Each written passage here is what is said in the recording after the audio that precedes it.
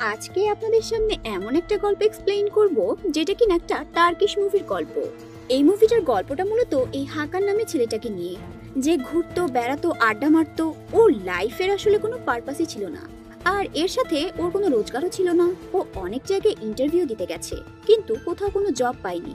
একদিন ও একটা magic shirt পায়, যেটা পরার পর ওর মধ্যে এমন একটা পাওয়ার এসে যায়, যেটা ও সামলাতে পারে না। আর এই ম্যাজিক শার্টটা পরার পরে তার সঙ্গে ঠিক কি কি হয়েছিল সেটা জানতে হলে আপনাদেরকে আজকের পুরো গল্পটা দেখতে হবে। তো চলুন দেরি না করেই মূল গল্পে যাওয়া যাক। গল্পের শুরুতেই হাকানের উপর একজন বন্দুক টার্গেট করে। গুলিটা হাকানের দিকে যায়, কিন্তু ওই গুলিটা ওর লাগে কিনা সেটা কিন্তু আমাদেরকে দেখানো হয় না। এই গুলিটা তার লাগে কিনা সেটা জানতে হলে আমাদের আরও কিছু দিক পেছনে যেতে হবে।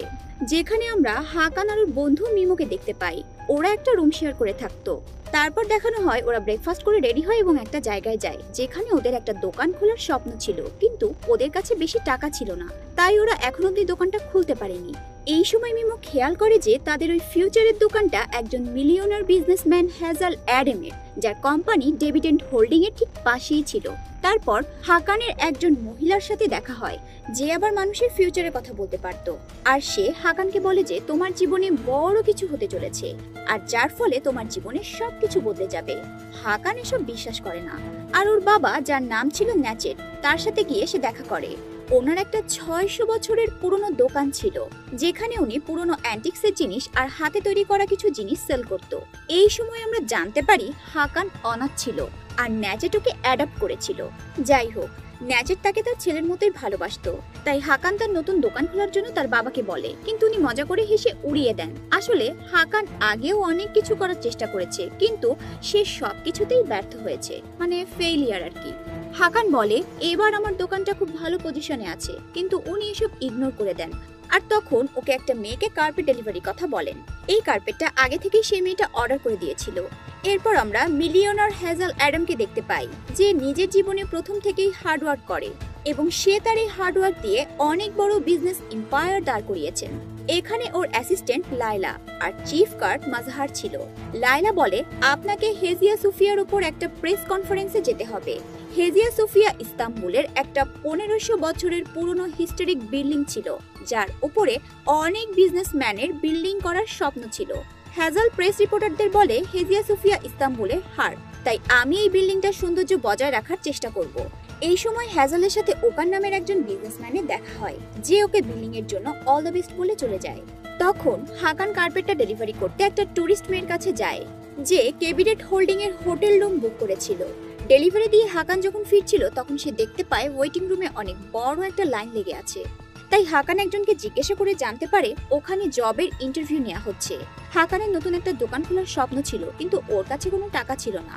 তাই ও সঙ্গে সঙ্গে জবের জন্য অ্যাপ্লাই করে দেয়। লায়লা এই ইন্টারভিউ নেয়, কিন্তু ওর কাছে কোনো কলেজের ডিগ্রি ছিল না। তাছাড়া ও কোনো ফরেন ভাষাও জানতো না। এজন্য লাইলা ওকে অন্য জায়গায় জব করার জন্য অল দ্য বেস্ট বলে দেয়। এই কথা শুনে হাকান ওখান থেকে চলে যায়। যাওয়ার সময় সে খেয়াল করে ওপর থেকে একটা বড় ঝুমুর একটা বাচ্চার উপর পড়তে যাচ্ছিল। ঠিক সেই সময় হাকান দৌড়ে গিয়ে বাচ্চাটাকে বাঁচিয়ে নেয়।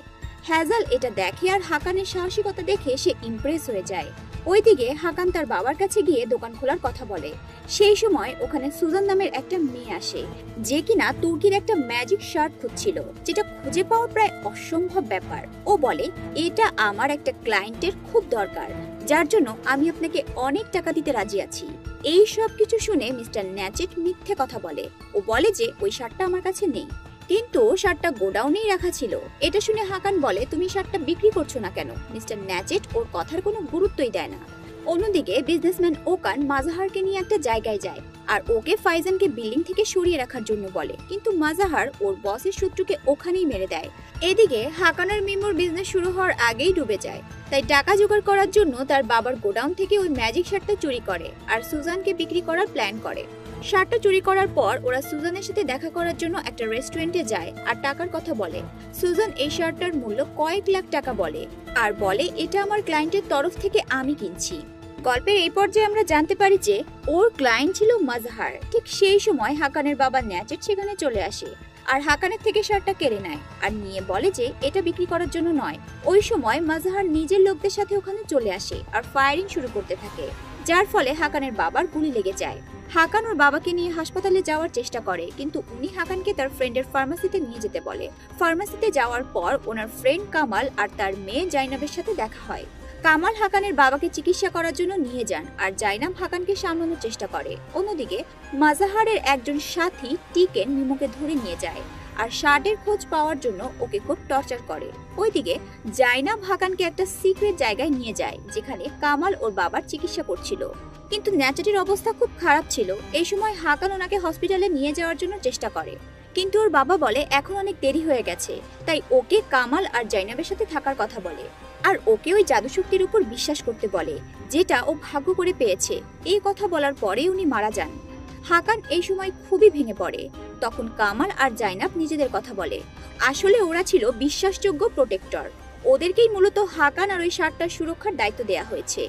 ওরা বলে হাকান নিজেও একটা প্রোটেক্টর যার কাজ হলো এমন লোকদের আটকানো যারা কখনোই মরবে না, যাদেরকে ইমমর্টালস বলা হয়। তারা যে কোনো সময় মানুষের রূপ নিতে পারে, আর এদের মূল লক্ষ্য হলো ইস্তাম্বুলের সাথে পুরো পৃথিবীকে ধ্বংস করা। এসব কথা শুনে হাকান অবাক হয়ে যায়, আর ওদের কথা একদমই বিশ্বাস করতে পারছিল না। কামাল ওকে এটা বিশ্বাস করানোর জন্য ওই শার্টটা পরার কথা বলে। হাকান ওনার কথা মেনে নিয়ে যখনই ওই শার্টটা পরে, তখন ওটা ওর শরীরের একটা অংশ হয়ে যায়। এর সাথে ওর শরীরে প্রোটেক্টরের ম্যাজিক সিলটাও তৈরি হয়ে যায়। তখন জায়নাব ওর দিকে শ্যুট করে আর গুলিটা হাকানের দিকে এগোতে থাকে। এই গুলিটার কথা মনে আছে? এটা হলো সেই গুলিটা যেটা গল্পের শুরুতে আমরা দেখেছিলাম। গুলিটা এসে ঠিক হাকানের মাথায় লাগে, কিন্তু সেটা ছিটকে পড়ে যায়। এ থেকেই বোঝা যায় হাকান একজন প্রোটেক্টর। এরপর কামাল হাকানের ওই ইমর্টাল প্রোটেক্টরের যে লড়াইটা হয়েছিল সেটার ব্যাপারে বলে। তখন আমাদেরকে প্রোটেক্টর মেহমেদকে দেখানো হয়, যাকে সাতজন ইমর্টালকে শেষ করার জন্য পাঠানো হয়েছিল। একদিন ও একজন এমন ইমর্টালকে খুঁজে পায় যে কিনা একদম মানুষের মতোই দেখতে ছিল। ও তিনটা জিনিস খুঁজে পেয়েছিল, যেটার দ্বারা লড়াইটাও জিততে পারবে।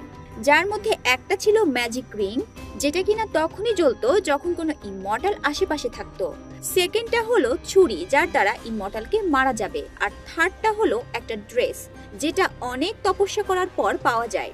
মেহমেদ হাকানের পূর্বপুরুষ, যাকে চুজ করা হয়েছিল তার দক্ষতা আর অনেস্টির জন্য এই ইমর্টালদের শেষ করতে।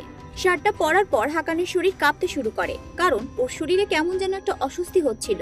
হাকান এসব একদমই বিশ্বাস করতে পারছিল না।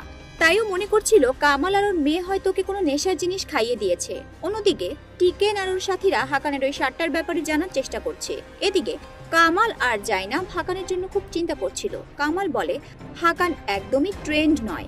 আর ইমর্টালদের সঙ্গে লড়াই করার জন্য একদমই প্রস্তুত নয়। তাই ওকে এখন আমাদের ট্রেনিং দিতে হবে। কিন্তু হাকান সেখান থেকে পালিয়ে যায় আর তার নিজের অ্যাপার্টমেন্টে চলে আসে। সে ওখানে গিয়ে জানতে পারে টিকেন আর ওদের লোকরা হাকানকে খুঁজে বেড়াচ্ছে। এটা শুনে ও ঘাবড়ে যায় আর ভেতরে ঢুকে মিমুকে দেখতে না পেয়ে খুব চিন্তায় পড়ে যায়। এই সময় ওখানে একটা আজব বক্স দেখতে পায়, যেটার মধ্যে একটা বন্দুক আর একটা ছবি ছিল। যেটা ছিল উনিশশো উননব্বই সালে তোলা। এই ছবিটার মধ্যে কামাল ওর বাবা আর একটা লোক ছিল। এই সময় হাকানকে খোঁজার জন্য জাইনাব ওখানে চলে আসে। ওরা দুজন যখন কথা বলছিল, ঠিক ওই সময় মিমোর ফোন থেকে একটা মেসেজ আসে। ও মেসেজে ওকে সুলতান আহমেদ স্কয়ারে ডাকে। হাকান তখন ভাবে মিমো ওকে ডাকছে, তাই ও জাইনাবকে নিয়ে ওর সাথে দেখা করার জন্য ওখানে চলে যায়। অন্যদিকে কামাল সুজানের সাথে দেখা করতে আসে, যাতে করে ও জানতে পারে এই শার্টটা কার জন্য কিনতে গিয়েছিল। ও ভেবেছিল সুজানের সাহায্যে ইমর্টালদের খবর জানতে পারবে, কিন্তু তখন অনেক দেরি হয়ে গিয়েছিল। মাজহার এসে ওকে অলরেডি মেরে দিয়েছে। মাজাহার ভয় পাচ্ছিল যাতে সুজান কোনোভাবে ওর পরিচয় কাউকে বলে না দেয়। এদিকে হাকান আর জাইনাব এহমদ স্কোয়ারে চলে এসেছিল। ঠিক সেই সময় হাকান লক্ষ্য করে মিমো এক জায়গায় বসে আছে। তাই সে ওর কাছে যেতেই টিকেন লুকিয়ে হাকানের উপর গান টার্গেট করে। আর এর পরপর চারটে গুলি করে। কিন্তু গুলি করার পরেও হাকানের কিছুই হয় না। এটা দেখে টিকেন অবাক হয়ে যায়। জাইনাব তখন ওকে নিয়ে ওখান থেকে পালিয়ে যায়। এই সময় চারটা গুলি লাগার কারণে হাকান অনেক দুর্বল হয়ে যায়। টিকেন তখন এই সব কথা তার বস মাজাহারকে বলে দেয়। এই সব কথা শুনে মাজাহার তো একদম খুশিই ছিল না। ওদিকে জাইনাব আর হাকান কামালের ফার্মেসিতে চলে আসে। সেই সময় হাকান কামালকে ওই ছবিটার কথা জিজ্ঞেস করে, যেটা ও ওর বাবার একটা বক্স থেকে পেয়েছিল। কামাল তখন বলে, ন্যাচেট আর মুরাদ আমার ক্লোজ ফ্রেন্ড ছিল। হাকানের আগে মুরাদকে প্রোটেক্টর হিসেবে চুজ করা হয়েছিল। মুরাদ ছিলেন তোমার আসল বাবা। উনি ইমমর্টালদের সাথে লড়াই করতে গিয়ে মারা যান। ন্যাচেট তখন তোমাকে অ্যাডাপ্ট করেছিল আর তোমাকে বাঁচানোর জন্য তোমার কাছ থেকে এইসব কথা লুকিয়ে রেখেছিল। এটা শুনে হাকান বলে, আমাদের তাড়াতাড়ি ইমমর্টালদের খুঁজে মেরে ফেলতে হবে। কিন্তু তাদেরকে কেমন দেখতে সেটা তো কেউ জানে না। তাই ওদের খোঁজ করার জন্য ম্যাজিক রিং এর প্রয়োজন। অন্যদিকে হ্যাজাল হাকানের সাহসিকতা দেখে খুবই খুশি হয়ে যায়। এজন্য ও লায়লাকে বলে, হাকানকে আমি সিকিউরিটি গার্ড হিসেবে নিযুক্ত করতে চাই। আর এদিকে টিকেন হাকানের ব্যাপারে মাজাহারকে কিছু ইমমর্টালের কথা বলছিল। ও ন্যাচেটের ব্যাকগ্রাউন্ড চেক করে আর মাজাহারকে একটা ফাইল দেয়। এটা থেকে জানা যায়, হাকানের সাথে ওই সাতটার কোনো রিলেশন থাকতে পারে। হাকানকে ওর পূর্বপুরুষদের কথা বলে যে, ওরা কীভাবে ইস্তাম্বুল আর পুরো দেশকে প্লে রোগের হাত থেকে বাঁচিয়েছিল। আর এই রোগটা ইমমর্টালদের মাধ্যমে ছড়িয়েছিল। কামালোকে মিল্টন ভেনিস নিজের কন্ট্রোলে করার চেষ্টা করায়, যাতে ম্যাজিক শার্টটা ওকে প্রোটেক্ট করতে পারে। উনি হাকানের হাতে গরম পাথর রেখে দেন, যার ফলে ওর কষ্ট সহ্য করার ক্ষমতা বাড়বে।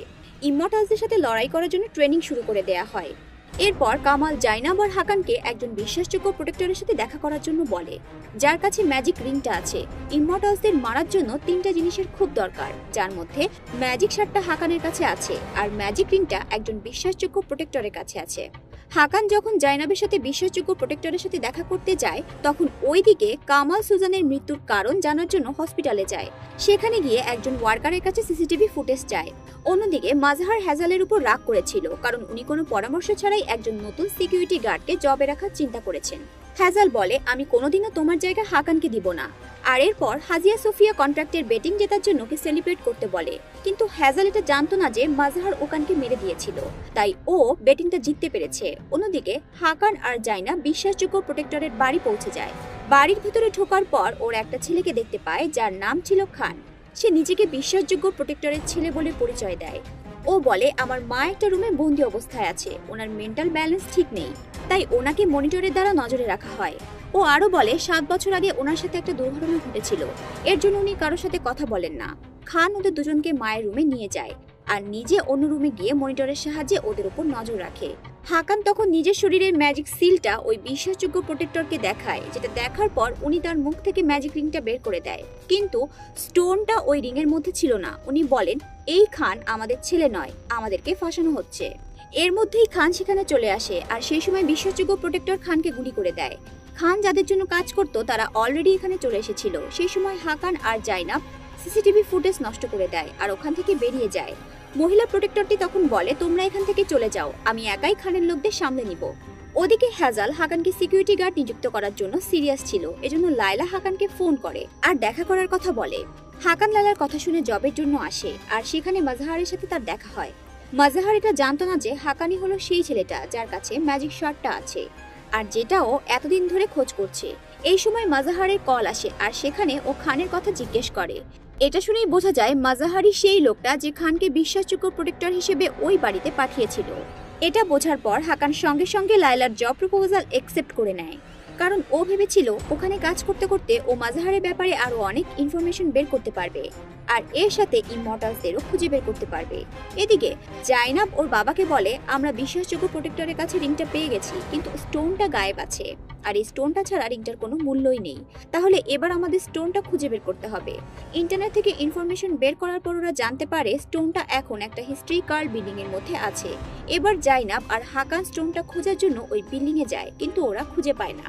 ওদিকে এবার হ্যাজাল হাজিয়া সোফিয়া কন্ট্রাক্টটা জেতার কারণে একটা গ্র্যান্ড পার্টি রাখে। যেখানে হাকানকে সিকিউরিটি ইনচার্জ করা হয়েছিল।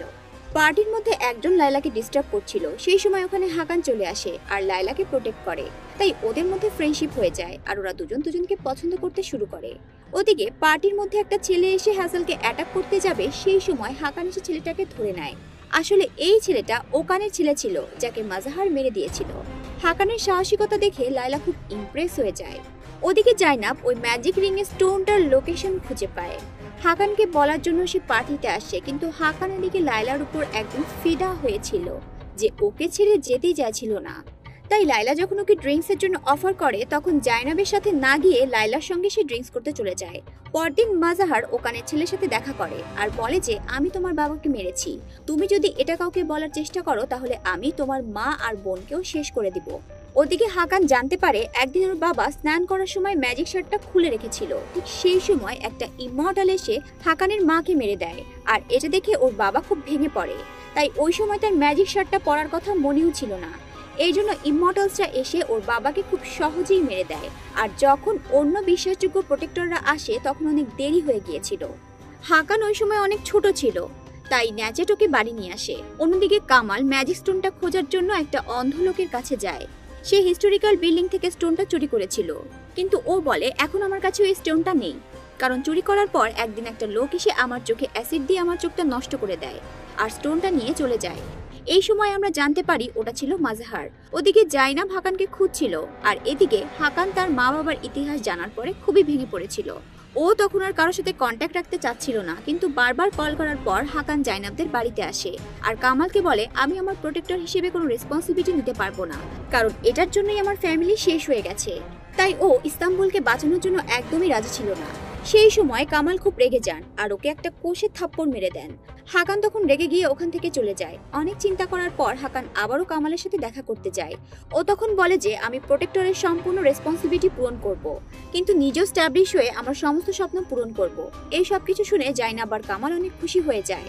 আর ওকে সেই ছুরিটার কথা বলে, যেটা এখন মিউজিয়ামে রাখা আছে। এবার ওদের প্ল্যান ছিল ওই ছুরিটা চুরি করা, আর এটাতে ওরা সাকসেসফুলও হয়ে যায়। কিন্তু দুর্ভাগ্যবশত মিউজিয়াম থেকে বেরোনোর আগে সিকিউরিটি অ্যালার্ট হয়ে যায়। সেই সময় কামাল হাকানকে বাঁচানোর জন্য ওখানে ফায়ারিং করে আর গার্ড ওনাকে অ্যারেস্ট করে নেয়। এরপর দেখা যায় মাজাহার হাকানকে গান টার্গেট করা শেখাচ্ছিল।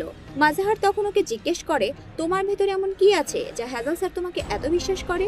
কিন্তু তুমি কখনোই আমার জায়গা পাবে না। তার জন্য তোমাকে আমায় শেষ করতে হবে।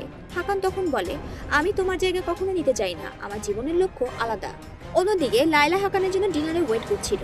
ঠিক সেই সময় হ্যাজাল ওখানে আসে আর ওর সাথে কথা বলে। আর হ্যাজাল ওর সাথে এখানে বলে নিজের স্ত্রীর কথা, যাকে ও মার্ডার করে দিয়েছিল। হ্যাজাল, হাকান আর লাইলার অ্যাফেয়ার্স এর কথা জানতো। তখন লাইলা বলে, আমি খুব দ্রুত হাকানকে বিশ্বাস করে ফেলেছি। আসলে লাইলা হাকানকে নিয়ে একটু বেশি চিন্তা করছিল। তখন হ্যাজাল বলে, হাকান হয়তো কোনো কাজে বিজি আছে, তাইও ডিনারে আসতে পারেনি। ওদিকে কামাল জেলে থাকার কারণে জাইনা খুব চিন্তা করছিল। সেই সময় হাকান ওকে সামলানোর চেষ্টা করছিল। আর ওকে তার জবে জয়েন করার কথাও বলে। আসলে জাইনাব চাচ্ছিল না যে হাকানের উপর কেউ সন্দেহ করুক। জাইনাব তখন তৈমুর নামের একটা ছেলের হেল্প নেয়, যার সাথে ওর বাবার পরিচয় ছিল। তৈমুর কামালকে জেল থেকে বের করে, এরপর হাকান তার ডিউটিতে জয়েন করে। ওইদিকে একটা জার্নালিস্ট হ্যাজালের অফিসে ঢুকে গান টার্গেট করে। সেই সময় লায়লা আর হ্যাজালকে হাকান বাঁচায়। হ্যাজাল তখন হাকানকে আলাদাভাবে ডেকে বলে, লায়লা আমার মেয়ের মতো। তাই আমি কখনোই চাইব না তোমার জন্য ও কষ্ট পাক। হাকান কিছুদিন ধরে গায়েব ছিল, এজন্য লায়লা ওর সঙ্গে কথা বলতে চাচ্ছিল তখনই হাকানের কাছে জাইনাবের কল আসে, তাই হাকান লায়লার সাথে কথা না বলে সেখানে চলে যায়। এটার জন্য লায়লার খুব খারাপ লাগে। হ্যাজাল মাজাহারকে জিজ্ঞেস করে আমার উপরে যখন অ্যাটাক হচ্ছিল, তখন তুমি কোথায় ছিলে? এ কারণে ও মাজাহারকে অন্য জায়গায় ট্রান্সফার করে দেয়। এটার জন্য মাজাহারের খুব খারাপ লাগে, কারণ এত বছর ধরে ও হ্যাজালকে প্রোটেক্ট করে আসছিল। আর এই হাকানের মতো একজন সাধারণ ছেলের কারণে ওকে জব থেকে বের করে দেয়া হলো। রাতের বেলা লায়লা হাকানকে খুব মিস করছিল। সেই সময় হাকান ওখানে চলে আসে, কিন্তু লায়লা ওর সঙ্গে কথা বলতে চাচ্ছিল না। তারপর ওকে জিজ্ঞেস করে, তুমি দুই দিন ধরে কোথায় ছিলে? হাকান বলে, আমি তোমাকে বলতে পারব না। এটা শুনে লায়লা খুব রেগে যায়, আর ওকে বলে যে যখন আমার তোমায় দরকার পড়ে, তখন তুমি আমার সাথে থাকো না। যখন তুমি আমাকে বিশ্বাসই করতে পারো না, তাহলে তুমি এখান থেকে চলে যাও। হাকান তখন বলে, আমি তোমাকে খুব ভালোবাসি, কিন্তু লায়লার কাছে এটা যথেষ্ট ছিল না, কারণ ও হাকানের ব্যাপারে সবকিছু জানতে চাইছিল। কিন্তু হাকান সবকিছু বলার জন্য এখন রেডি ছিল না। তখন লায়লা ওকে রুম থেকে বের করে দেয়। হাকান লায়লার দরজার সামনে বসে থাকে। ঠিক ওই সময় মাজাহার এসে ওকে কিডন্যাপ করে নিয়ে যায়। এরপর মাজাহার ওকে একটা রুমে নিয়ে যায়, আর ওর উপর খুব টর্চার করতে থাকে। ওকে টর্চার করতে করতে একটা কাজের টেবিলের উপর ফেলে দেয়, যার ফলে সব কাজ ভেঙে যায়। আর মাজাহার থেকে বাঁচার জন্য হাকান একটা কাজের টুকরো ওর গলায় ঢুকিয়ে দেয়। এর ফলে মাজাহার সেখানেই মারা যায়। এই সময় হাকানের মনে পড়ে, কামাল বলেছিল, ইমমর্টালকে শুধু ম্যাজিক ছুরি দিয়েই মারা সম্ভব। ও এতদিন মনে করেছিল, মাজাহার হয়তো ইমমর্টাল কিন্তু মাজাহার তো মানুষ ছিল। এটা দেখে হাকান খুবই ঘাবড়ে যায়। ওই সময় লায়লা শব্দ পেয়ে মাজাহারের রুমে চলে আসে, আর মাজাহারের ডেড বডির পাশে হাকানকে দেখে অবাক হয়ে যায়। কিছুক্ষণ পর পুলিশ এসে যায়, আর হাকান সব ঘটনা বলে, কিন্তু ওর কথা কেউই বিশ্বাস করে না। যে সময় হাকানকে পুলিশ নিয়ে যাচ্ছিল, ঠিক সেই সময় ও লায়লার গলায় সেই ম্যাজিক স্টোনটা খেয়াল করে, যেটা জ্বলছিল, কারণ তখন লায়লার সাথে হ্যাজল দাঁড়িয়েছিল সেই সময় হাকান বুঝতে পারে হ্যাজালি আসল ইমর্টাল। লায়লা কি করবে কিছু বুঝে উঠতে পারে না, যার ফলে সে জাইনাবকে কল করে। আর ফোন করে বলে যে হাকান মাজাহারকে মার্ডার করে দিয়েছে। কিন্তু জাইনাব জানতো হাকান এটা কখনোই করতে পারে না। ও খুব চিন্তায় পড়ে যায় আর ভাবে, তাহলে মাজাহার যদি ইমমর্টাল না হয়, তাহলে আসল ইমমর্টাল কে? ওই ওইদিকে হ্যাজাল পুলিশের সাথে কথা বলে আর তাদের কাছে জিজ্ঞেস করে, আপনাদের কি মনে হচ্ছে? এটা কি অ্যাক্সিডেন্টলি হয়েছে? পুলিশ বলে, না, এরকম কিছু তো মনে হচ্ছে না। এটা অ্যাটেম্প টু মার্ডার মনে হচ্ছে। কারণ হাকানের শরীরে কোনো আঘাতের চিহ্ন নেই। সেই সময় হ্যাজেল বুঝতে পেরে যায় হাকান একজন প্রোটেক্টর। এরপরও লায়লার কাছে যায় আর বলে যে, আমি হাকানকে জেল থেকে বের করার জন্য যাচ্ছি। তুমি কি আমার সঙ্গে যাবে? কিন্তু লায়লা কি করবে বুঝে উঠতে পারছিল না। এই সময় হ্যাজাল তার নিজের আসল সত্যটা বলে দেয়। ও বলে যে ও একজন ইমমর্টাল আর ওর বয়স হাজার বছরেরও বেশি, কিন্তু লায়লা এসব বিশ্বাস করতে পারছিল না। সেই সময় ও সেটার প্রমাণও দেয় আর বলে যে আমার ওয়াইফও একজন ইমমর্টাল ছিল, তাকে একজন প্রোটেক্টর মেরে দিয়েছে। তাই আমার ওয়াইফকে জীবিত করার জন্য আমার একজন প্রোটেক্টরের রক্ত চাই। এটা শুনে লায়লা তো অবাক হয়ে যায়। তখন হ্যাজাল এটাও বলে যে হাকানের কোনো দোষ নেই, ও কোনো ভুল করেনি। আসলে ও মাজাহারকে ইমমর্টাল মনে করে মার্ডার করে দিয়েছে। এরপরে হ্যাজাল হাকানকে জেল থেকে বের করে আনে। হাকান হ্যাজালের ব্যাপারে জেনে গিয়েছিল, তাই ও ওর উপর অ্যাটাক করে। তখন হ্যাজাল বলে, তুমি আমাকে মারতে পারবে না, কারণ তোমার কাছে ম্যাজিক ছুরিটা নেই। এটা শুনে হাকান খুব রেগে যায় আর হ্যাজালকে খুব মারে। তখন হ্যাজাল ওকে একটা ভিডিও দেখায়। আসলে ও লায়লাকে কিডন্যাপ করে নিয়েছিল। হাকানকে বলে, তুমি যদি লাইলাকে বাঁচাতে চাও, তাহলে ম্যাজিক ছুরিটা নিয়ে আমার কাছেই চলে আসবে। ওদিকে জাইনাব তার বাবার সাথে ইমর্টালদের খোঁজ করতে গিয়ে ডেরিয়া নামের একটা মহিলার সাথে দেখা করতে যায়। সে ইমর্টালদের খবর জানতো। আসলে ডেরিয়া নিজেও একজন প্রোটেক্টর ছিল, কিন্তু ওর একটা ভুল কাজের জন্য ওকে বের করে দেওয়া হয়েছিল। এবার যখন কামাল আর জাইনাব ওর কাছে যেয়ে পৌঁছায় আর ইমর্টালদের কথা জিজ্ঞেস করে, সেই সময় ওরা জানতে পারে যে, ওই ছুরিটা দিয়ে যদি কোনো প্রোটেক্টরের রক্ত বের হয়, তাহলে কিন্তু ইমর্টালদের বাঁচানো সম্ভব, যারা আগে মারা গিয়েছিল। এটা শুনে কামাল আর জাইনাব এই খবরটা যে কোনোভাবেই হোক হাকানকে দিতে চাচ্ছিল। কিন্তু ডেরিয়া এখানে চিট করে। আর ওদের থেকে বদলা নেওয়ার জন্য ওদেরকে একটা রুমে বন্দি করে বিষাক্ত গ্যাস ছেড়ে দেয়। সেই সময় কামাল জাইনাবকে ভেন্টিলেটর দিয়ে বের করে দেয় আর নিজেকে এই কাজের জন্য উৎসর্গ করে দেয়। হাকান যখন জাইনাবের বাড়িতে আসে, তখন ও জানতে পারে যে কামাল মারা গেছে। আর সেজন্য জাইনাব খুব ভেঙে পড়েছিল। তখন হাকান ওকে সান্ত্বনা দেয় আর ছুরিটা ওর কাছ থেকে চায়। কিন্তু জাইনাব লাইলার জন্য ওই ছুরিটা দিতে রাজি ছিল না। হাকান তখন বলে যে, আমার জন্য কোনো নির্দোষ প্রাণ চলে যাক, সেটা আমি কিছুতেই মেনে নিতে পারব না। তখন সেও জাইনাবকে একটা রুমে বন্ধ করে ছুরিটা নিয়ে হ্যাজালের কাছে চলে যায়। হ্যাজাল বলে যে, আমি আমার ওয়াইফকে জীবিত করতে চাই। এই জন্য এই ছুরি থেকে তোমার দুই ফোঁটা রক্ত দাও। কিন্তু হাকান রাজি ছিল না। এজন্য হ্যাজাল লাইলাকে গুলি করে দেয়। সেই সময় হ্যাজাল আরও একটা গুলি করতে যাচ্ছিল, তখন হাকান ম্যাজিক শার্টটা খুলে ছুরি নিয়ে নিজের রক্তকে দিয়ে দেয়। এরপর হ্যাজাল হাকানের কাছ থেকে ম্যাজিক শার্টটা আর ছুরিটা নিয়ে ওখান থেকে চলে যায়। হাকান লাইলাকে বাঁচানোর অনেক চেষ্টা করে, কিন্তু কোনোভাবেই বাঁচাতে পারে না। এদিকে জাইনাপ রুম থেকে বেরিয়ে হ্যাজেলকে মারার জন্য যাচ্ছিল। তখন ওখানে হাকানকে কল করে আর লোকেশন জিজ্ঞেস করে। লাইলাকে হারানোর পর হাকান খুব ভেঙে পড়ে, আর ও এর বদলা হ্যাজেলের কাছ থেকে নিতে চাচ্ছিল। তখনও জাইনাবের সাথে দেখা করে আর হ্যাজেলের বাড়িতে পৌঁছে যায়, কিন্তু ওখানে হ্যাজাল ছিল না। সেই সময় হাকান খেয়াল করে হ্যাজাল হাজিয়া সুফিয়া প্রজেক্টটা পাওয়ার জন্য অনেক টাকা খরচ করেছিল। সেটা একটা হিস্টোরিক্যাল বিল্ডিং ওই বিল্ডিং এর নিচে হ্যাজালের ওয়াইফ আর অন্যান্য ইমর্টালদের কবর দেওয়া আছে। আর হ্যাঁ তার ধারণা একদমই ঠিক, কারণ হ্যাজাল হাজিয়া সুফিয়া বিল্ডিং এর ভেতরেই ছিল। তাই হাকান আর জাইনাব ওখানে পৌঁছে যায়। হ্যাজাল যখন হাকানের ব্লাড নিজের ওয়াইফকে খাওয়াতে যাচ্ছিল, ঠিক সেই সময় হাকান ওখানে চলে আসে আর গুলি করে ব্লাডটা ফেলে দেয়। এরপর হাকান আর হ্যাজালের মধ্যে ফাইট শুরু হয়ে যায়। এরই মধ্যে হাকান চালাকি করে হ্যাজালের পেটে ছুরিটা ঢুকিয়ে দেয়। আর এটাও সত্যি ছিল যে, একজন ইমর্টালের ব্লাড দিয়ে একজন মরা মানুষকে জ্যান্ত করা যাবে। এজন্য হাকান হ্যাজালের ব্লাড নিয়ে লাইলাকে খাইয়ে দেয়। ওদিকে মাটিতে পড়ে থাকা রক্ত নিচ থেকে বাকি ইমর্টালদের কবরে চলে যায়। সেই সময় হ্যাজালের ওয়াইফও জ্যান্ত হয়ে যায়। হাকান আবারও হ্যাজালকে মারার জন্য আসছিল আর এই সময় বিল্ডিং এ কম্পন শুরু হয়। সেই সময় হ্যাজাল নিজের ওয়াইফকে নিয়ে সেখান থেকে পালিয়ে যায়। কিন্তু হাকান খেয়াল করে যে এক এক করে বাকি ইমর্টালগুলো সব জ্যান্ত হতে শুরু করেছে। এই সব দেখে ও ঘাবড়ে যায়। ওদিকে লাইলা ফাইজানের রক্ত খেয়ে বেঁচে উঠেছে। আর এখানেই আমার গল্পটা শেষ হয়ে যায়। তো গাইস কেমন ছিল আমার আজকের গল্পটা? তা আমাদেরকে কমেন্ট করে অবশ্যই জানাতে পারেন। আর আমার চ্যানেলটা সাবস্ক্রাইব না করা থাকলে এখনই সাবস্ক্রাইব করবেন। দেখা হবে আবারও নতুন কোনো এপিসোডে ততক্ষণ পর্যন্ত সবাই ভালো থাকবেন, সুস্থ থাকবেন। আল্লাহ